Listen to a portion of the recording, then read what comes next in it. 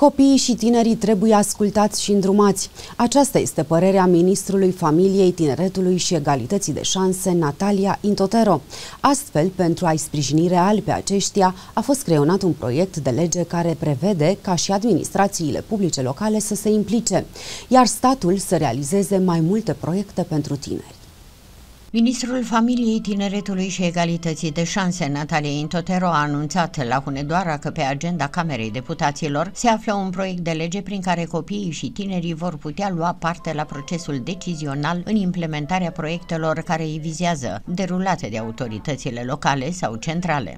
Acest proiect este pe ordinea de zi a Camerei Deputaților. Sper eu ca săptămâna viitoare să intre la vot și să întrunească încrederea tuturor colegilor.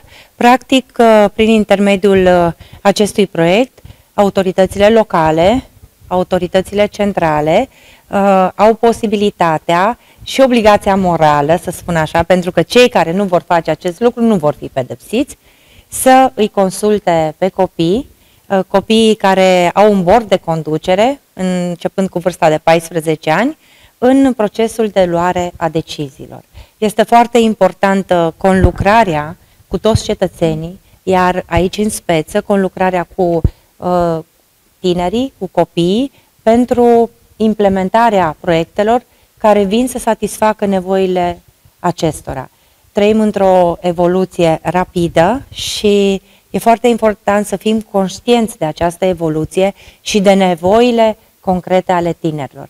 În cadrul conferinței care tocmai s-a încheiat, am avut și participarea copiilor, participarea tinerilor, uh, persoane care și-au spus punctul de vedere, apăsat, care și-au spus uh, dorința, și-au exprimat dorința de a conlucra mână în mână cu autoritățile locale pentru a realiza cele mai bune măsuri pentru familie, pentru copii, pentru tineri, astfel încât ei să poată să rămână acasă. Fiecare acolo unde s-a născut și unde și-ar dori să locuiască în continuare alături de părinți și după terminarea studiilor. Natalia Intotero a remarcat faptul că există deja primării, cum sunt cele din municipiul Hunedoara și din orașul Jibou, unde copiii au fost consultați de autorități atunci când au fost luate decizii care îi priveau în mod direct. Model ce ar trebui aplicat în toate administrațiile publice locale.